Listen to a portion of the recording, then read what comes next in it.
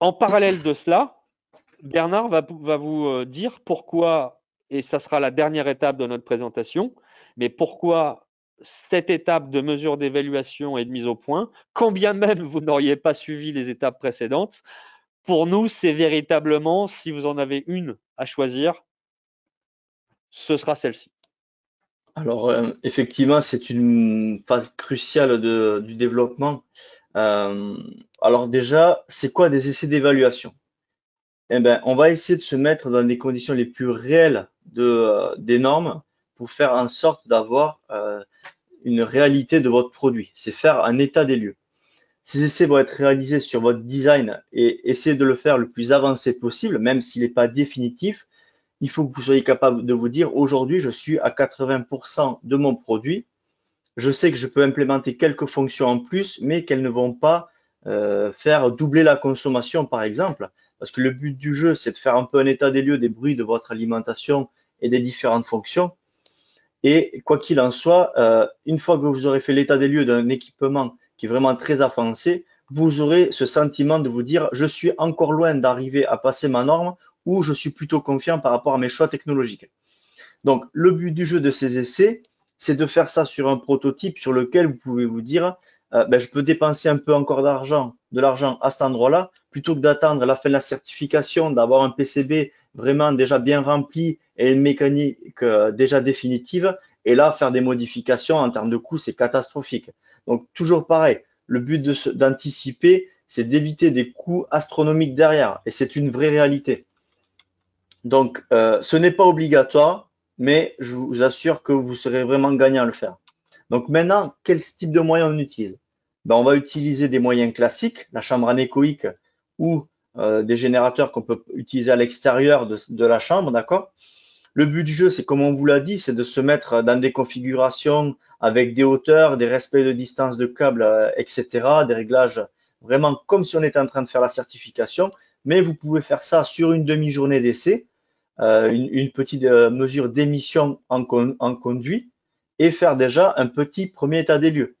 Et en plus, quand vous faites ça sur une demi-journée ou sur une journée, vous pouvez faire euh, différentes modifications en temps réel, venir avec des composants de filtrage, etc.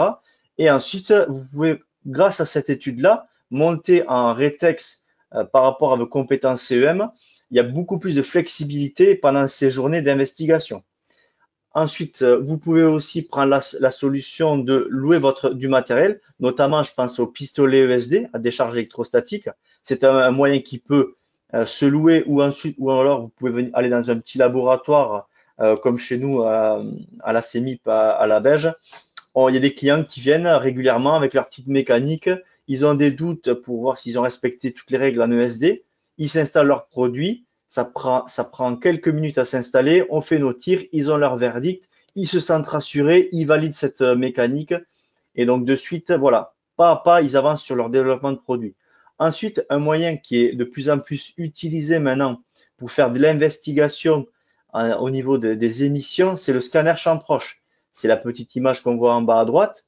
On va venir balader euh, une petite sonde au-dessus de notre PCB et faire une cartographie du champ voilà, pour mettre en évidence des problématiques de couplage ou lorsqu'on a des problèmes euh, qu'on a constatés en champ lointain, puisque là, effectivement, on va en chambre anéchoïque, on parle de champ lointain, et là, on parle de champ proche, eh bien, on va venir investiguer sur notre PCB pour voir ben, quelle est la source qui me génère cette fréquence-là. Parce que quand on commence à faire de l'implémentation de fonctions euh, et on maîtrise pas à 100% tout ce qui se passe dans cette fonction, on est plutôt là euh, on prend des blocs, on les utilise pour faire notre produit, ben, on ne se rend pas bien compte de tous les bruits qui sont générés.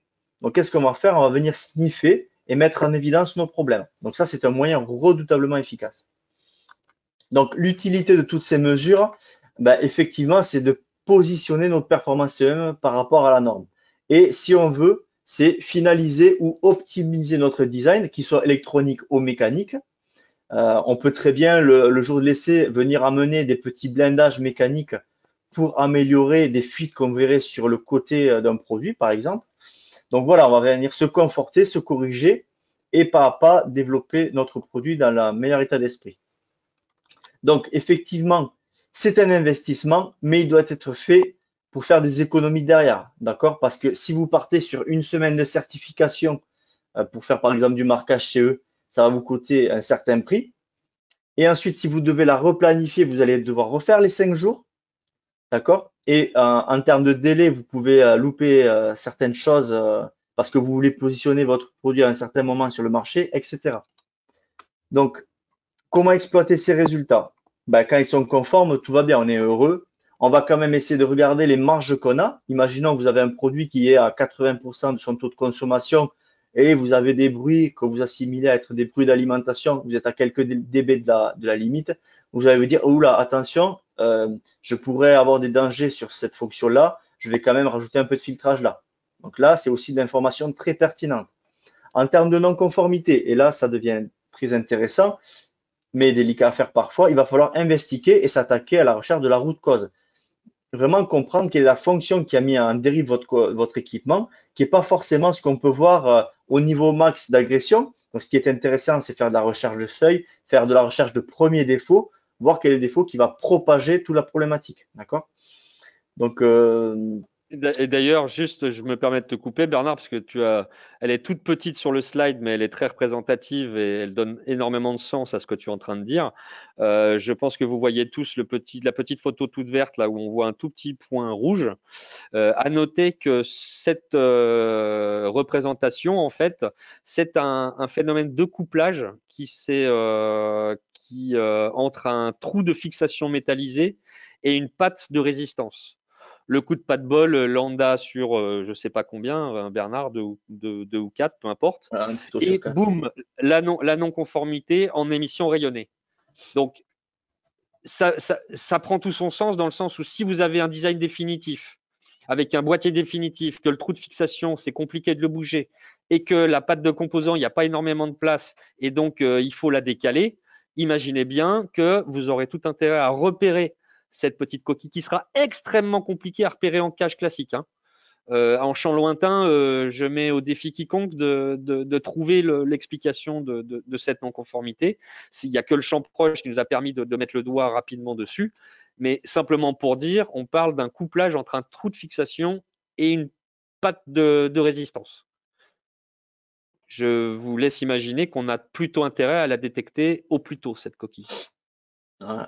Donc, je vais juste rebondir sur une chose aussi, c'est qu'actuellement, le champ proche, euh, c'est pas encore normatif. Il y a quand même beaucoup de sociétés, des grosses sociétés qui sont en train de tout faire euh, pour euh, travailler sur ce champ proche.